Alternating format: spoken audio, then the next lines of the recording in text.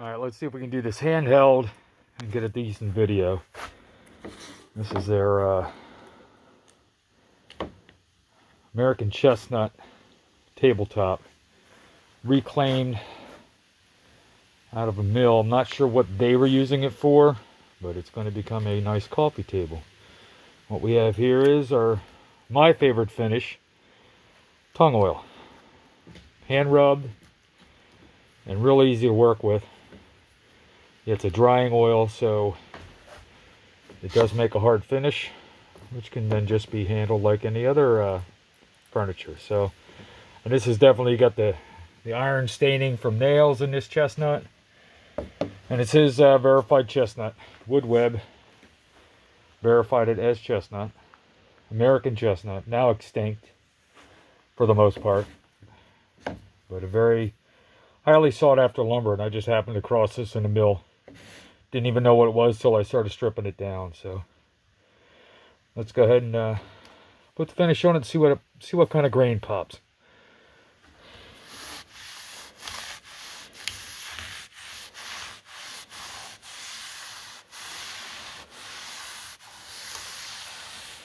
One thing I like about this, I don't really like high gloss finishes. And this is not. And although it has a gloss right now, it does dry down and uh, become a satin finish. Wipe on, wipe off finish. And you can see the ceiling lights are reflecting off of it, but like I said, this will dry down. This wood is really dry. It's soaking this stuff up like crazy. I need more in here already. Another nice thing about this stuff, it deals with dust really well. Sorry, bad camera work here. Let me see if I can change that. Hang on a second. We'll get part of the finishing process here. The camera stand's going to get in the way. So let's go ahead and get this thing, uh, get some more finish on this.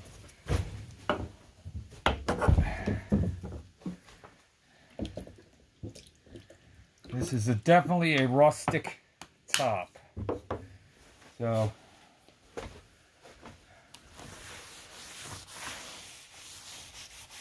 supposed to put this on heavy, wipe off the excess. I'm putting it on heavy and this wood is sucking it up. This stuff has been sitting for, I'm sure, decades in that barn.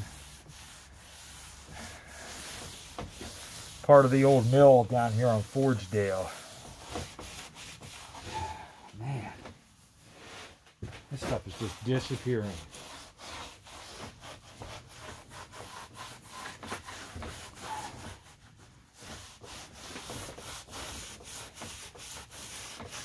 Alright. Stop snapping that cap shut. Usually you rub this stuff around, it floats on top and uh, slowly soaks in a little at a time. Not on this wood. The rag's not soaking it up. The wood is. I think we're starting to get some. You don't have to put a ton of excess on here, but you kind of want to have something there to wipe away later. Doesn't really matter. It says to wipe in the grain direction, but it doesn't really matter at this point. Let's move you over here. Only the camera feet, so that'll be okay.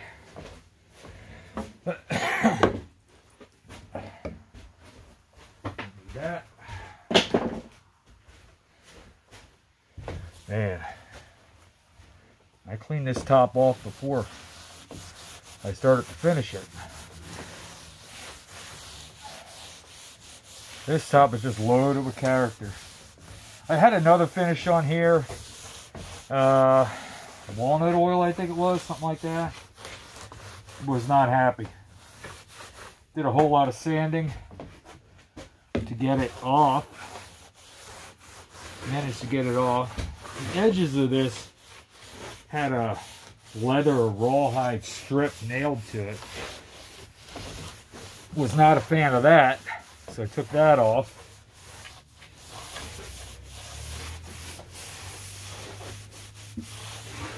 Sorry, going around the edges again. This is definitely sucking up the finish here. So, I like the way this looks. Definite, definite rustic log cabin. Maybe if you got your country western setting in your home there, or your man cave. But a little bit more in the bucket here. A little bit more. There we go think we're done with that. Said it looks glossy in, in the photo or in the video. But like I said, it'll tone down. Soaks in, becomes a satin finish. There we go. This wood is thirsty. That's for sure. Drying oil will help uh,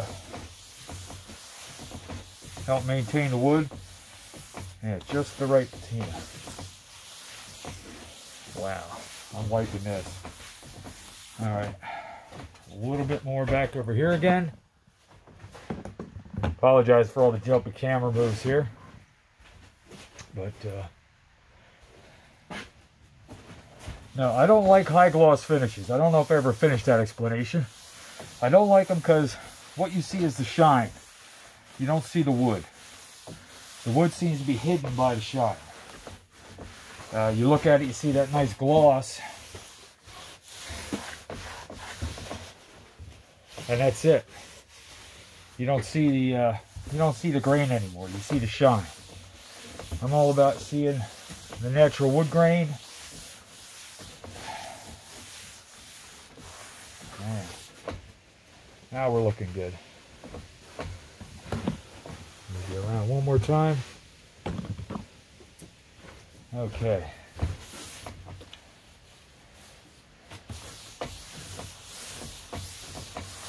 All right.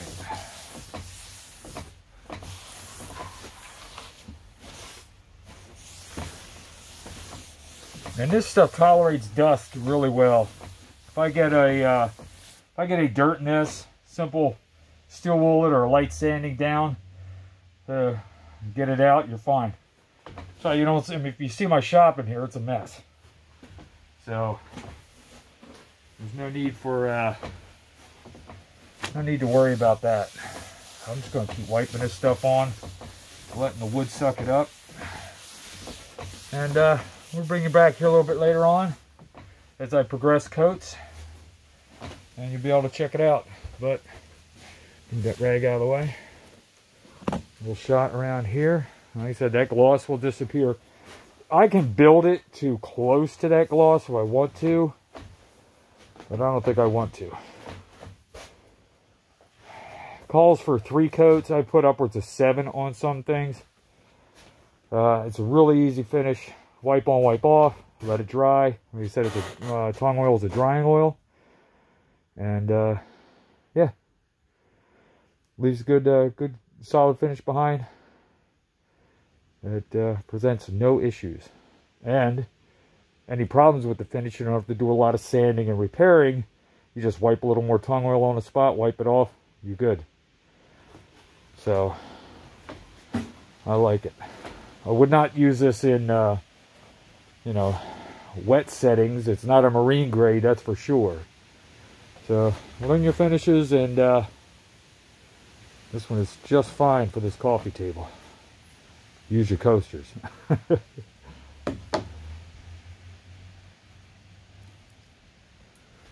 Alright.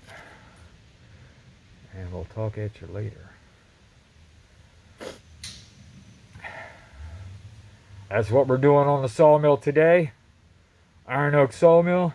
Thanks for stopping out. We'll see you later next time.